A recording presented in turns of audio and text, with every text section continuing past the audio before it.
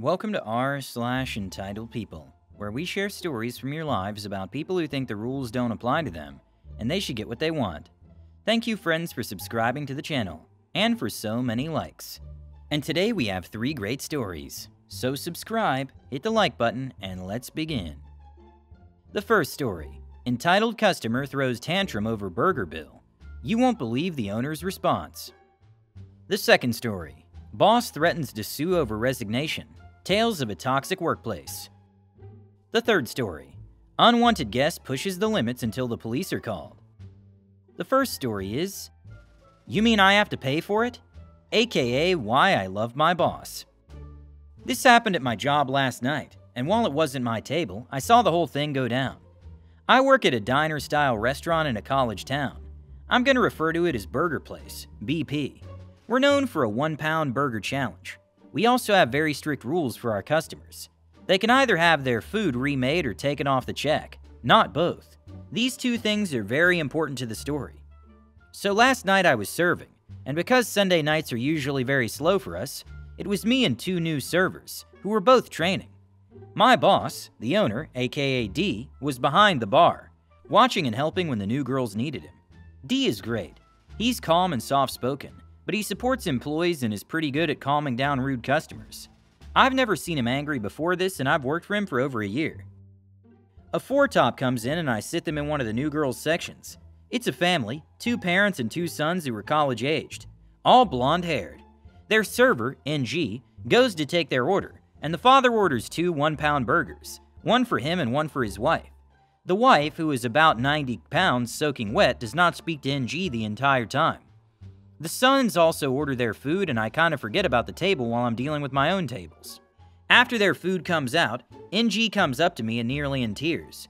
She tells me there's a problem with her table and D is in the office on the phone. D trusts me to do managerial things when he isn't there, so I go up to the table to see what I can do. The wife and sons are both staring at their laps, not making eye contact with me, while the father seems very agitated. M will be me, and CG will be Crazy Guy. M. Hey guys, what seems to be the problem? CG. There's a white hair in my wife's burger and it needs to be fixed right now. M. Oh my goodness, I'm so sorry about that. Would you like to have it remade or taken off your bill, sir? CG. Well, my wife needs to eat something. Just remake it, okay? And fast. Now, we don't have any blonde or white haired kitchen staff working that night. NG has black hair, but the hair is white apparently. Plus, the burger has mozzarella cheese on it, which tends to look stringy after a bite. Still, I take the burger to D in the office and have the kitchen remake it. He searches the burger and cannot find a single hair. D tells me to watch and see if they give NG any more trouble, but after the burger is fixed, everything seems fine. Until it's time to pay. The wife finishes about a quarter of her burger and her husband asks for a to-go box. NG brings them the box and their check. A couple minutes later, she comes up to me again. NG, he doesn't want to pay for his wife's burger. I immediately go get D, and he goes up to the table. CG, I can't believe you aren't going to take that burger off. D, I'm sorry, sir. There's something wrong with the burger we remade for you? CG, yes, it was horrible. My wife wouldn't even touch it. D, I'm sorry, sir. We remade it and you told NG everything was fine. We offered to take it off the ticket, but you preferred to have it remade. CG, you mean I have to pay for it? D, yes, sir. CG now standing and yelling, disturbing the rest of the restaurant. The management is terrible here. I can't believe I have to pay for this horrible burger. Give me the owner's number right now. D. Sir, I'm the owner. CG now in D's face screaming. This is effing ridiculous. How are you gonna make me pay for an effing burger with a hair in it? D. Sir, since you clearly were just looking for a free meal, you can have one. However, you're not welcome in my restaurant ever again. Get out before I call the police for causing a disturbance.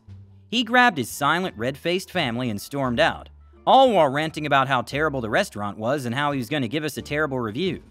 I calmed NG down, and D simply apologized to the rest of the tables inside and went to the office to check his blood pressure. It's nothing new, just another bunch of entitled, crazy people who want freebies. But it's still not pleasant to watch. But your boss is a cool guy. I respect such owners who stay on the side of their employees and don't try to please such nasty customers and everything. Respect to him. God, they had a child with them. The father looks like his sons were older than he was. If he didn't want to pay for his wife's burger, he could have taken the leftovers and then deducted them from his bill. Don't want to pay? You can't take the leftovers home. You choose to pay or give them back. Some establishments have gone so far as to put up notices. If you don't complain about problems before you eat half the portion, you pay for it, to cut off freeloaders. Of course, genuine problems can be solved, but not by the principle of eat three fourths and then say it was terrible. Sorry if it was so bad. You stopped after one or two pieces. Eat that much and you bought it. The second story is My boss threatened to sue me if I quit. So this happened years ago now, but I'm feeling inspired to share my story. Seeing how many terrible bosses refuse to let their employees quit. I also want people to know not to be intimidated by these companies. So I work as an engineer in a very active industry, but because of growing up poor and other factors, I've traditionally always shied away from salary negotiations, and have been historically underpaid, as I have, in the past couple of years, come to understand. This is coupled with a fear of not being skilled enough for the work that I do, which leads to me working long hours, 80 plus, and getting capable at building in a variety of areas that's very profitable to my employers. I mention all this because I started off in the industry in an okay business, but was constantly failing and seeing the writing on the walls, I knew it was about to close for good. So I was actively looking for another job, and was lucky to land a position at a new company all called Aviato. Aviato was a law firm looking to make a push into my industry, and it had all the funds and capital it needed to move forward and establish an engineering team. They offered me 60k with no benefits and no equity, and honestly, I was ecstatic about it. This was definitely the most I'd ever been paid. I was also okay with no equity because this signaled two things to me. One, my wife and I were still establishing our lives, so if I needed to move because of her getting a job, then I needed to uproot quickly. Two, that the company felt that they didn't need me to be a permanent part of the team, because you offer equity as a way of having employees feels invested, right? Fast forward a year and we built out the entire product working long hours, and honestly building something we could be proud of. It was robust, and the business and clients were very happy to have. We instituted a lot of technology, product, and agile practices that definitely put us on track to startup happiness. And I was lead engineer on this project the entire time. We launched, we partied, everything was good. However, my wife did eventually get that job, a dream job across the country, something she'd been working towards for 10 plus years at this point. So I thought, great, product release, wife has a new job, everyone's happy, let's move on. So I sat down with my boss and mentioned all the great work we did, and that I was handing in my notice because of the awesome job offer my wife just received. His eyes widened, his jaw fell to the ground, and he exasperated, You're leaving? After that, things got awkward, and so I left for the day. For a bit of background on my boss, we'll call him Ben Curd. He was from Old Money and he was the head lawyer at the firm, and in control of Aviato. He was used to getting his way and could be easily offended but some perceived slight. This was the case many times with other engineers, and I lost count of the number of times I had to sit down with him, calm him down, tell him not to go nuclear, throw everything we're working on away, and try to get him to see other people's perspective. There was a lot of managing upwards of his emotions so we could just build this product. The very next day after the now infamous meeting, my boss called me into what I had assumed was a counteroffer. I could have worked remote and I did offer to stay on for months to help them out. I'll never forget the next few exchanges. Ben Curd. I sat down with business partner and we both think why not take it out of your hide? Me. Take it out of my hide? You're threatening to sue me if I quit? Ben Curd. That's what we'll do. I've been very nice to you and I've given you 60k. I could use that as a down payment on a house. Me. You didn't give me that 60k, that was my salary. I worked for that money. You can't prevent me from quitting. None of this is how the employer slash employee relationship works. At this point, I just got up and left. It honestly makes me so de-angry even now thinking back on it. After this meeting, they attempted some damage control by having some team goodbye drinks, and I showed up for five minutes, said goodbye to the team, and left. I didn't acknowledge Ben Kurd's presence. Some months later at the new job across the country, I talked with the other engineers and told them how Ben Kurd tried to sue me for quitting. They were horrified by the entire exchange, and I found out a little later that they had quit. It just wasn't worth the risk working for this man. This cascade of quitting and brain drain ended up being too much for the nascent Aviato product, and they were forced to stop its development. It's still a law office to this day, but they never took the product any further. They never did end up suing me. Edit. I believe the logic was, if he quits then our development will slow down. Basically, the act of me quitting slows down product development, costing them time to market. I believe they thought I'd be responsible for those damages. I didn't consult a lawyer because I didn't believe the threat was credible at all. I suppose my thinking then and now is that to force me to work against my will, i.e., slavery, would be legally indefensible. I don't know if they did actually have grounds since they didn't pursue, but maybe they could have. Edit. This was in a right to work state, so I believe that means either party can terminate the relationship at any time for any reason. Will he sue you for wanting to quit? What kind of stupidity is that? Did he think that no one has the right to quit? What's wrong with this boss? Or does he think that if you work for him, you'll work for him for life? If so, with the salary he paid you, it's more like slavery. I hate such bosses. They think that if they have a higher position and founded this company, they have the right to control the lives of their employees. I would love to see how many thousands of dollars he would spend if he decided to actually sue you. Oh, and the ending about firing other employees and the fact that his business will not grow is really what your former boss deserves. Good luck to you, OP.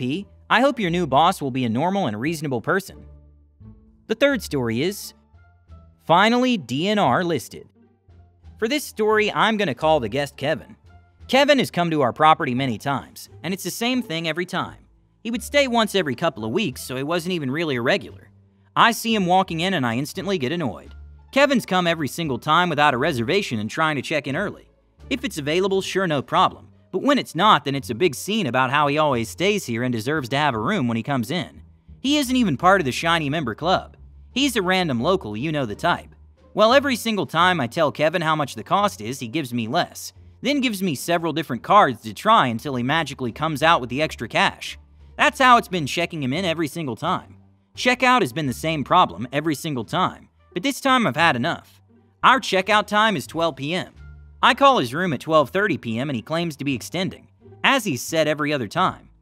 I tell him he must come down and extend the reservation within 10 minutes. 12:45 p.m. rolls around, so again I call him and told him he has to pay to check out. He comes down at 1 p.m. and claims his girlfriend is going to send him money. I told him he has to pay or check out. I generously give him until 1.30 p.m. to get the money or he will have to leave. What do you know, it's 1.30 p.m. and he's still in the room. I call the room three times, no answer. He comes to the desk and gives me several cards that do not work. He says he'll get a different card from his car.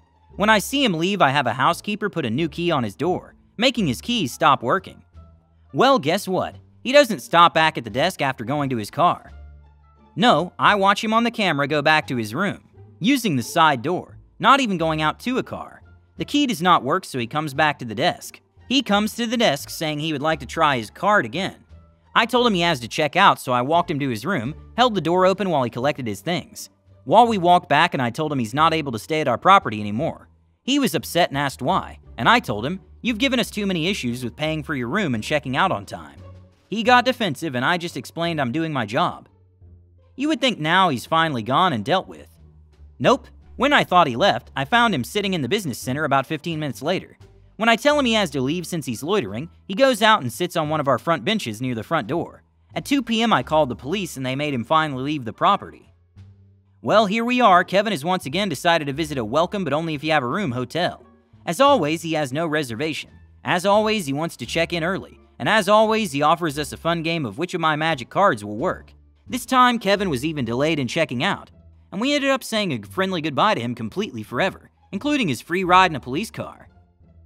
Hit the like button and subscribe to the channel. Have a good day.